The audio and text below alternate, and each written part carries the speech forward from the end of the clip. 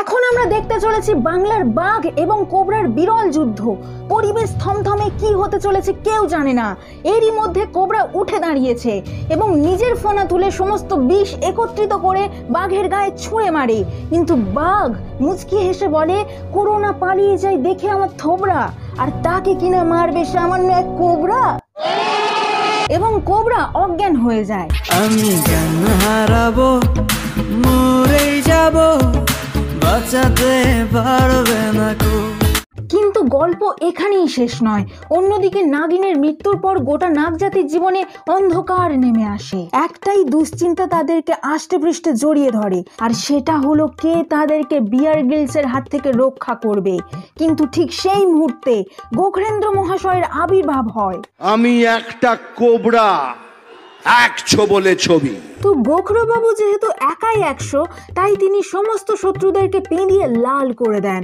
আর তার এই ইউনিক মারপিটের স্টাইল দেখে স্টার জলসো একটা ডান্স শোতে নিয়ে আসেন যেখানে ডান্সের থেকে নাটক বেশি হয়। কে তুমি?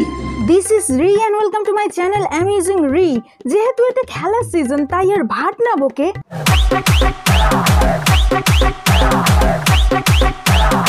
প্রথমেই সবার সাথে আলাপ করিয়ে দিই ইনি এখানকার প্রধান বিচারক আর ইনি চেয়ারে বসার আগে কোনো কারণ ছাড়াই এরকম টুনি বাল্ব জ্বলে ওঠে बिजली का बिल तेरा बाप भरेगा ইনি হলেন দ্বিতীয় বিচারক আর ইনি হলেন তিন নম্বর কব আয়েগা আছে দিন आएंगे जमीन की छाती फाड़ के आएंगे आसमान का सीना चीर के आएंगे আর এনারা হলেন অ্যাঙ্কার যাদেরকে অ্যাঙ্কারিংয়ের জন্য রাখা হয়নি। বেসিক্যালি এদেরকে লেগ পুল করার জন্য রাখা হয়েছে। দুনিয়া কভি মাফ নেই করেগি। নাটক কিন্তু এখনও বাকি আছে গাইস বহুত মজা আয়েগা। এরকম একটা কার্টুন বাঘকে আনা হয়েছে যাকে দেখে গোটা টিম ভয় পায়। বাচ্চারা ভয় পাচ্ছে তাও মানা যায় কিন্তু গোখরেন্দ্রবাবু কেন ভয় পাচ্ছে বুঝতে পারছি না। মানে আমি যতদূর জানতাম বাংলার বাঘ এবং গোখরেন্দ্র বাবু একই দলে রয়েছেন। এদিকে দেব দেবদাও বাঘকে দেখে প্যান্টে হিসু করে দিচ্ছে। সিনেমাতে তুমি গুণিতকে কেলিয়ে মহান হয়ে যাচ্ছ, আর এখানে কার্টুন বাঘকে দেখে প্যান্টে হেগে ফেলছো। ইয়ার কি হচ্ছে হ্যাঁ? ইয়ার কি? তো স্টার জলসা এই শোয়ের আয়োজন করেছে বেসিক্যালি মানুষকে কনফিউজ করার জন্য। কারণ আমি সত্যিই বুঝতে পারছি না। এটা নাচের শো নাকি ম্যাজিক শো নাকি নাট্যমঞ্চ, নাকি চিড়িয়াখানা? কারা এরা? আমি তো বুঝতেও পারছি না। হু আর দিস পিপল এবারে বাচ্চাদের নাচের কথায় আসি। নাচ নিয়ে সত্যিই কিছু বলার নেই, কারণ প্রত্যেকটা বাচ্চা খুবই ট্যালেন্টেড খুবই সুন্দর নাচে। যদিও নাচের থেকে নাটকটা বেশি হয়, তবে এক্ষেত্রে সারেগামা পাও কিন্তু পিছিয়ে নেই। এখানে গানের থেকে গেলুন পর্বটা বেশি চলে। মাঝে মাঝে বুঝতে পারি এটা আদৌ গানের শো নাকি ইটিং শো চলছে? ভগবান হি জানে। খাবারের কথা বলতে গিয়ে হঠাৎ করে এই শো এর কথা মনে পড়ে গেল। এখানে ইউনিক রেসিপির নামে পিন্ডি চটকানো হয়। আর এই যে ভদ্রমহিলাকে দেখছ এনাকে যদি খেতে দেয়া হয় গু ইনি তাতেও রিয়াকশন দেবেন।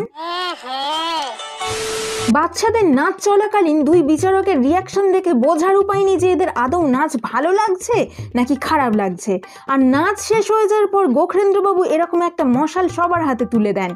কিন্তু এটা কেন দেন? কিসের জন্য দেন? এটা দেওয়ার পেছনে লজিকটা কি? এই দুজন ধনধান্যে পুষ্পভরা গানে পারফর্ম করেছে এবং এরকম একটা দেশাত্মবোধক গানের পারফরমেন্সের পর দেবদার রিয়াকশন খাবি কি? ঝাজে উড়ে যাবি পারফরমেন্স ভাই এরকম একটা গানের পর এই রিয়াকশন কে দেয়? এই দুই বিচারকের অসাধারণ রিয়াকশন দেখার পর তিন নম্বর জন চুপচাপ বসে থাকবে নাকি? তো কারণ নাচ ভালো লাগলে কি করবে তোমরা? হাততালি দেবে? খুব খুব খুব ভালো লাগলে কি করবে তোমরা? বড় জোর উঠে দাঁড়িয়ে হাততালি দেবে? না না না না আমাদের মনামি দিদি সোজা টেবিলের ওপরে দাঁড়িয়ে হাততালি দেন।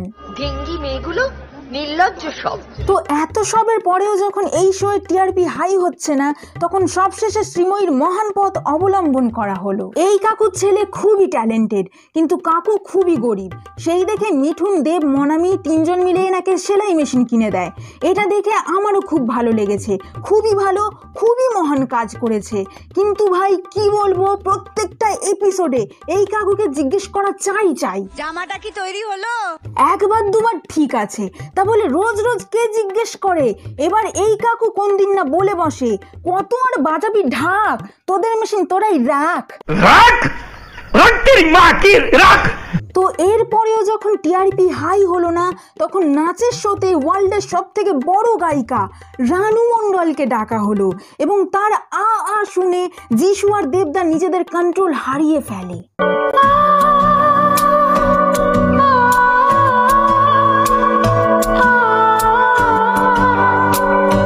এসব দেখে গোখরেন্দ্রবাবু অতিষ্ঠ হয়ে রানু মণ্ডলকে কাকের মতো কা কা করতে বারণ করে। এটা শুনে রানু মণ্ডলও জবাব দেয় আমি যদি কাক হই তুমি হলে শকুন। ও মিঠুনদা তোমার? গায়ে মাথায় উকুন। এই শুনে গোখরেন্দ্র খেপে গিয়ে ফোনা তুলে রানু মণ্ডলকে শো থেকে বের করে দেয় এবং এই ঘটনার পরে রানু মণ্ডল নিন্দা করে বলে কুকুরের পেটে কি সহ্য হয় ঘি? কারণ আমি তো জানতাম যে আমি কি। তো গাইজ সবশেষে আমি একটাই কথা বলব। মিঠুনদা এবং দেবদা দুজনেই কিন্তু ডিফারেন্ট পলিটিক্যাল পার্টির সাথে যুক্ত। তবুও তারা দুজন একই মঞ্চে বন্ধুত্বপূর্ণ আচরণ করছে। এখন ভোটের সময় চারিদিকে যেরকম অশান্তি চলছে সেটা দেখে আমার একটাই বক্তব্য পলিটিক্স থাক পলিটিক্সের জায়গায় আর বন্ধুত্ব থাক বন্ধুত্বের জায়গায়। একদম তাই। অনেক সিরিয়াস কথা বলে ফেললাম এবার মেজাজটা একটু ফুরফুরে করে নেওয়া যাক।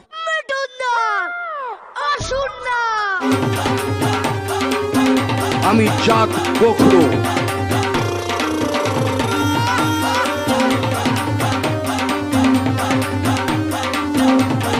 এক বলে ছবি।